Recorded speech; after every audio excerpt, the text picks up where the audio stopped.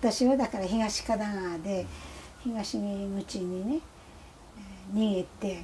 でどんどん駅の方から燃えてくるからどんどんどん行ったら第一国道の大きな交差点。でもうそこもね煙で渦巻い一番かわいそうだったのはあの辺ね運送業者トラックが軍にみんな捉えてるから、引っ越しするっつっても何するってもみんな馬や牛だったんですよね。牛舎や、馬車でね、あの馬がねくるって飛び出してくんの。それで飛び出してきたのを前が火がなっちゃうと戻らないでね。一回は戻ったのか知りませんけどね。もうこうやって手を挙げて火の中に飛び込んでそういうの何何個も見ちゃったんですけどね。かわいい私はなんか自分が命がけな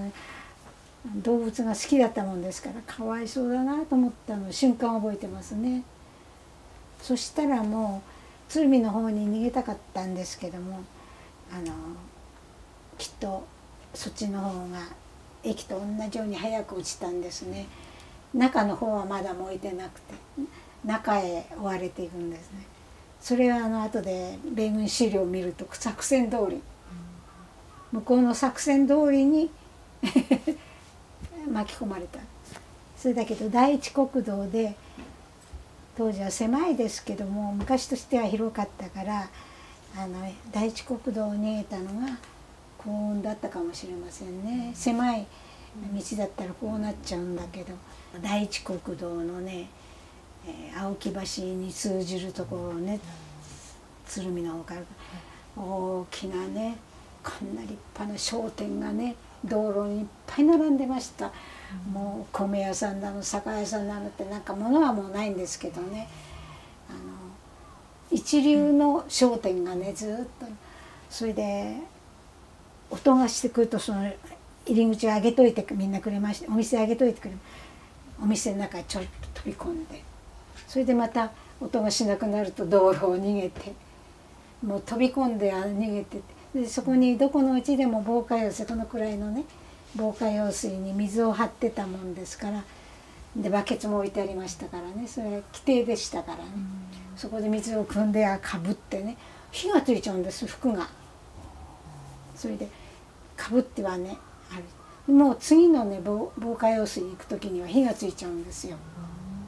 それで道路の真ん中はねあのリアカーだかね戸だかねなんかわかんないんですけど火火にね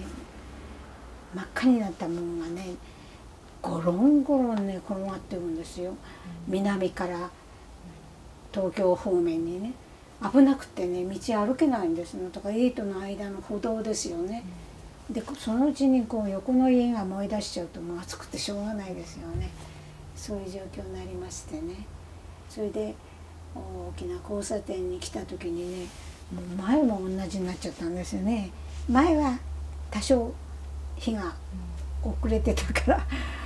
それでそれが今考えると青木橋の交差点だったんですね。あここでここでもうダメなんだなと思ってたらば向かいのね同じ方向の方からあの背の高い青年男の人がもうクラクラっと出てきたんですよね。